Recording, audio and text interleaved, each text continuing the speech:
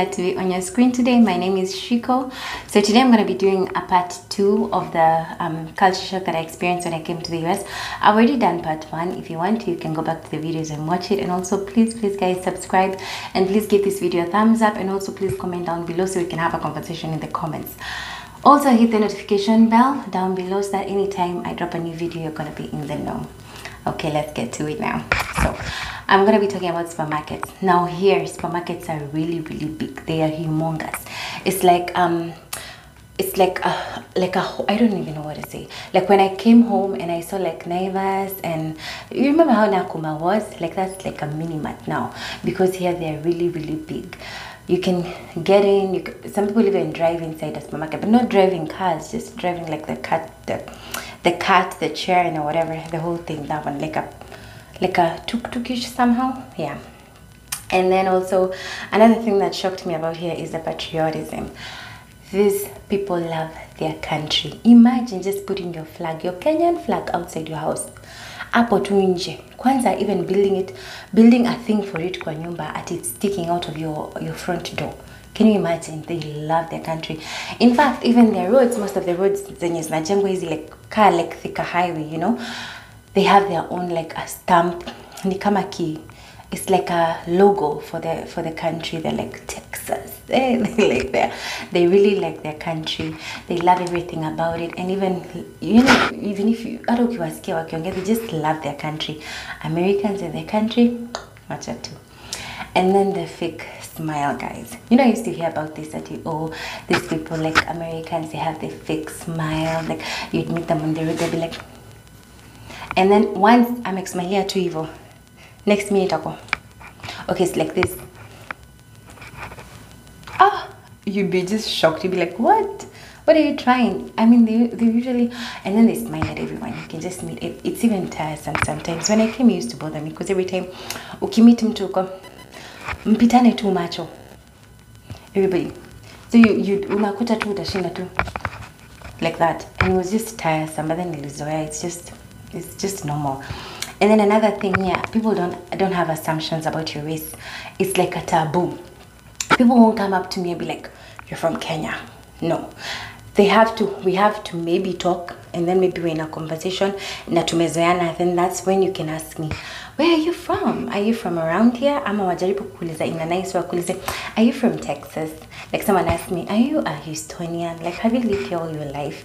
That because they want to know but they never just assume like oh you're african. Oh you look like you're from kenya. Mm. now wajangi hata ati countries or anything they just know. If you have an accent we're an african. If you look like a chinese you're an asian. Everybody asian. Everybody african.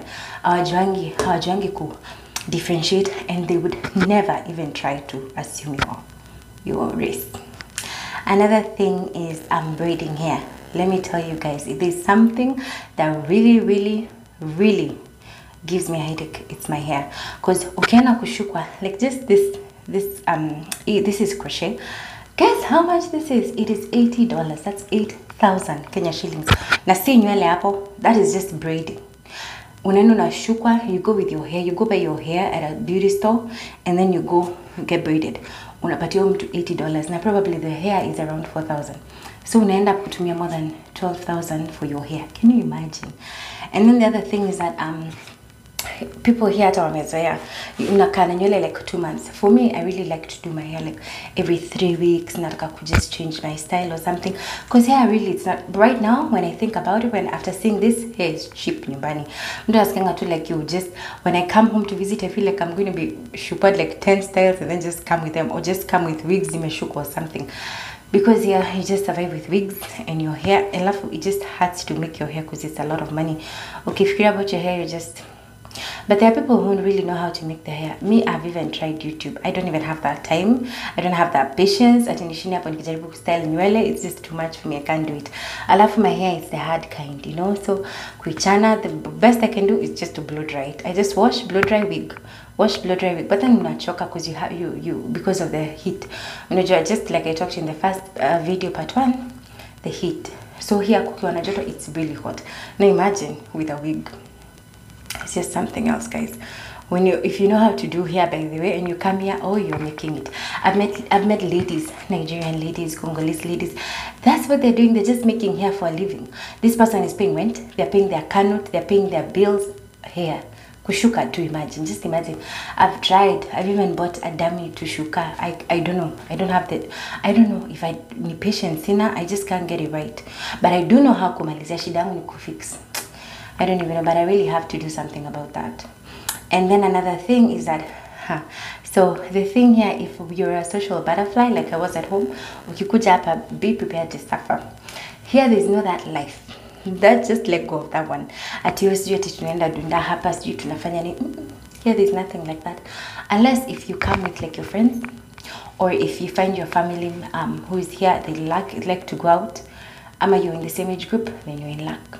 But if you come here and you meet, you're not in the same age group with your family, and you don't have any friends, and here it's so hard to make friends, my guys. It is so hard because first of all, everybody is busy. Here, it's you know, when you're home, tunasemanga time is money. Don't waste my time. That is just a saying, my people. Here, it is real.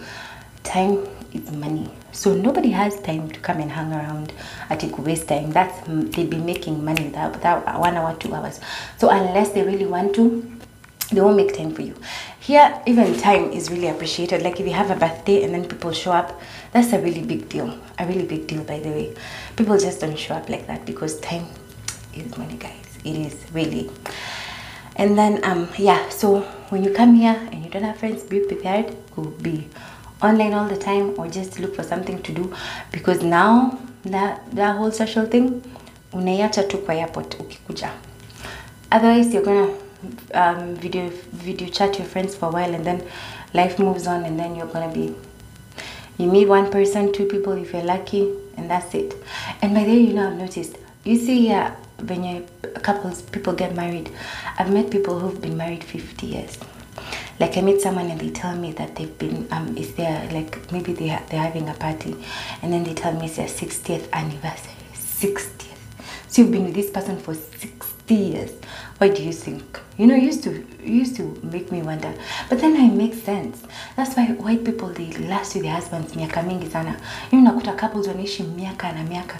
Kumbe it's because hapa hakuna your social life. So this one person, they're your friend, they're your boo thing, they're your everything. Hakuna kuachana, you better stick together au unaenda kusafa peke yako. Yeah. Now it really actually makes sense to me. Anyway, another thing is minding your own business. That's what I really like about this place, kinda, because I think I yeah I kind of like it because nobody will ask you anything. People mind their own business. You see, like for example, right now, if I go outside and just sit on the road down on the floor, nobody will even care. They're just gonna pass me by. Maybe one person, maybe an old lady when you akona udaku, just ask me or like a Karen lady, and what are you doing? But nobody cares. Everybody's minding their own business. Watakupita ah, tuende ukafanye muduru. Um, muduru is somersault. So even if you go into some somersaults on, in the mall, watakuondokea tu, watapita. They'll just cut their way around and leave you there with your somersaults and be, you know. And they are very, very Americans. Americans are very open-minded. Mi sijaona watu open-minded hivyo. Like right now, nikienda niambia watu I I identify as a 12-year-old. My friend, they will believe it. I usually tell my cousin, I tell her I'm eight years old. Oh gosh, she believes it. I don't know. Okay, I don't know if she's pleasing me or she's just she just like um let me just agree because I don't want you know I don't want to judge you whatever. But she agrees with me. Imagine it's just surprising to me, but that's how it is. Here, people mind their own business. They don't care. They don't ask you anything, and the same for them. Don't ask them about their life. You mind your own business. They mind their own business, which is really good. And then another thing is that there are so many nationalities. There are so many.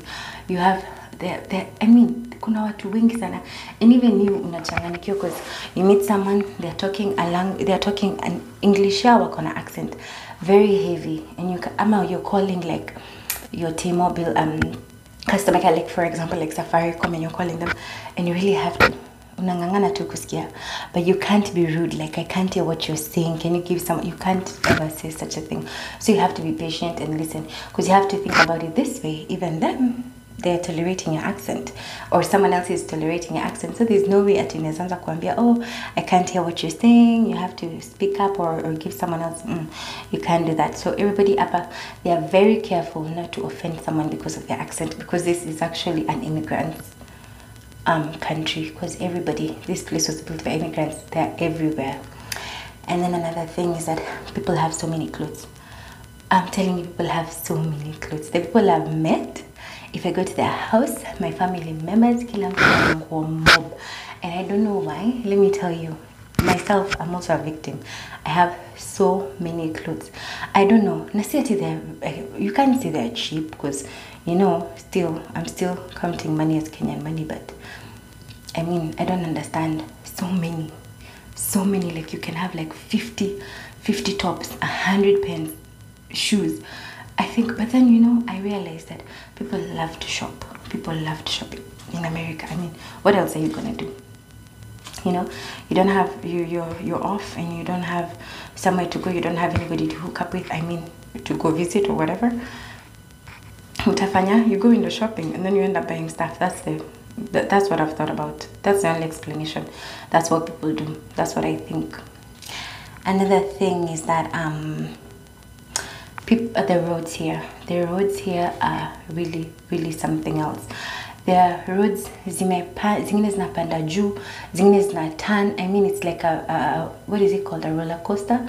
In fact, the first time I was the, from when I started driving, it was really really crazy for me because I was really scared. I even had panic attacks when I'm driving. And don't say that it's not real. At an Africa, at Africans don't have panic attacks. It's real. Me used to. Alafu me yangu ni bad because I hate myself. So I'm like, okay, okay. I'm like that, and then I stuka, and then I I stusha myself more. I don't know if you understand what I'm saying. Nikistuka do and I'm like, oh my god. I, sometimes I even have to stop first and then breathe because nastuka. Because unakutana na gari mob and then kuna speed limits. Kuna even up to 70. I don't know how much 70 is here. I don't know how to, to nini at home. But that's pretty very very fast so you have to keep up and it's just crazy but then finally i used to push myself i used to even when saying niko off i just make sure um, I make sure that I'm going so I can Zoya because I just saw that if Nispo Zoya, I'm gonna end up suffering, you know. So I thought that was the best thing to do. I just forced myself to go. And um, really, what I uh, the the only thing I can say is that the most um, um, important thing I've seen here is that overall of everything, America humbles you because people here wako hawako na you know, like how ati kuna kuvaa ati watu huvaa ati you know how home you really dress? And i don't know why we do that by the way but home you really dress. And it's good to dress up by the way. But here kunanga cha hivyo you can meet someone and they are multi millionaires but they're wearing tights and a top. That's the thing. People don't even dress up here. So america i think america really humbles you. Plus and imagine when you start from the kind of jobs you guys you know the kind of jobs you do first when you come here it's just crazy. I'm gonna do a, a video talking about the jobs that, that are here and the, the payments and the, what you expected of the types of jobs, how to get those jobs and stuff. And then you can, you're gonna see what I'm talking about. Anyway, I'm really glad that you watched my video. Thank you so much. Please subscribe, please comment down below, please like and share. And also please hit the notification bell so you can know when I drop a new video. Thanks so much for watching my video. Have a wonderful day or night or whatever. Bye-bye.